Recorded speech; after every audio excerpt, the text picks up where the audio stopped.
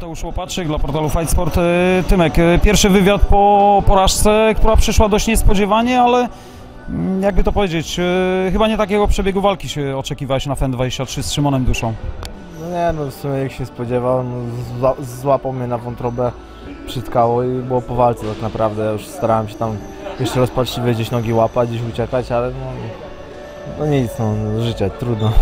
E, Analizowałeś tą porażkę też od strony takiej, że e, przynajmniej słyszałem wypowiedzi, że być może zbyt dużo wagi robiłeś, zbyt dużo e, w ostatnim tygodniu zostało tych kilogramów i gdzieś tam po prostu byłeś ociężały. To, to, to możesz się z tym zgodzić, czy nie? Nie, nie, ja czułem lekkość w walce, wszystko było ok, tak naprawdę byłem maksymalnie naładowany, skupiony. No wszystko było tak jak być powinno, ta, ta, takiej mocy jeszcze petardy nie miałem na walce, tak jak się teraz czułem. No ale to Szymon przycelował i było po walce no i nawet nie miałem okazji się zaprezentować, jakichś nowych umiejętności, czy y, no nie miałem nawet okazji się pokazać tak naprawdę, bo przycelował i było po walce już. Ten cios bardziej e, czułeś, czy bardziej go widziałeś w ogóle, jak leci w tym momencie, kiedy, kiedy był moment przed dotarciem? Ja już go poczułem, nie? bo ten, weszliśmy w krótką wymianę, dostałem i już mi przytkało, już było, no, no i była lipa, już, już oddechu nie było, nie? E, To jest taka porażka bolesna w sensie, że dużo przygotowań, dużo, dużo powiedzmy oczekiwań na tą walkę, no i wszystko kumuluje się raptem w minucie, półtorej minuty i, i, i po prostu jest, jest e, tylko potem można żałować, że, że stało się jak się stało. To jest nauka na przyszłość? No na pewno, no, ciężkie przygotowania, no, moim zdaniem teraz były najcięższe, najbardziej takie profesjonalne, jakie do tej pory miałem i dużo od siebie sam wymagałem, a tak, nie miałem okazji nawet się rozkręcić i no nie wiem, no, ciężko coś powiedzieć, bo no, bo- no bo boli taka porażka, gdzie wolałbym po, po trzech rundach ciężkich zejść przegrany ni- niż tak po, po, po minucie niecałej, nie? E, Ale kibice chcą usłyszeć, bo to też jest tak, że masz swoich kibiców, masz ludzi, którzy ci kibicują, bo to było widać też w mediach społecznościowych e, i też wiedzą, że jesteś młodym zawodnikiem, więc chyba no, nie jest to tragedia i koniec świata. No nie, no, zostawiamy to za sobą, idziemy dalej. E, kolejne wyzwania przed nami, gdzieś tam wstępnie planujemy kolejną walkę na kwiecień.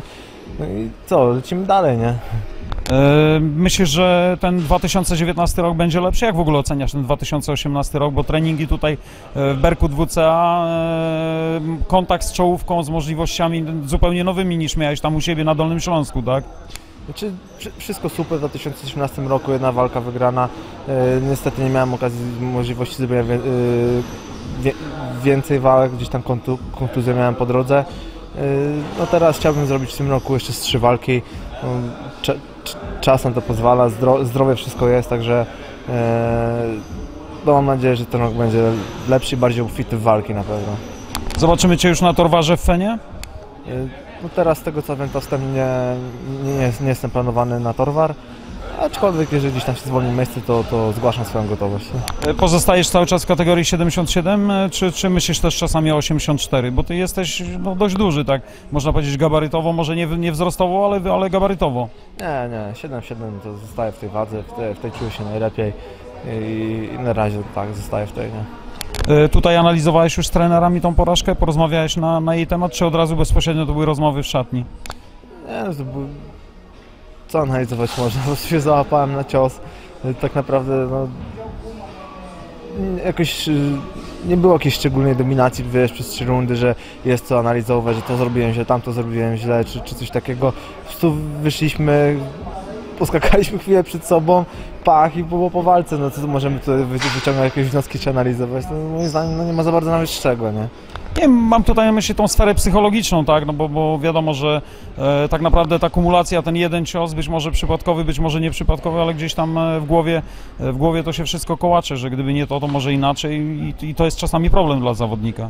O, teraz to można myśleć, co by było gdyby, no ale no już nie, nie ma sensu się tutaj nakręcać w jakiś szczególny sposób, po prostu trzeba zostawić to ze sobą, nie myśleć o tym, skupić się na, na, na przyszłych celach, na przyszłych walkach, no bo to już mamy ze sobą, to już nic nie zmienimy, nie?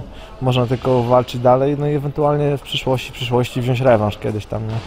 Musisz sam przemyśleć w czterech ścianach, czy jest ktoś, z kim chciałbyś jeszcze porozmawiać, czy rozmawiasz o tym wszystkim i kto cię motywuje później do dalszej pracy?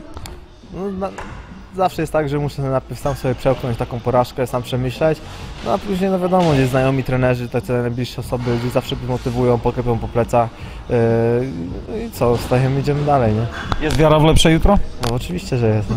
Tymek, Inaczej by mnie tu dzisiaj nie było, nie? Tymek, e, cieszę się, że widzę Cię na treningu, że błyskawicznie postawi, stawiłeś się tutaj na treningi. E, czekam na kolejną walkę i no mam nadzieję, że będzie, nawet jeśli przegrasz, to na pełnym dystansie i nie będzie takiego, tak, takiego czegoś. Tak? Mam nadzieję, że już nie będę przegrywał. Dziękuję bardzo. Mateusz Łopaczyk.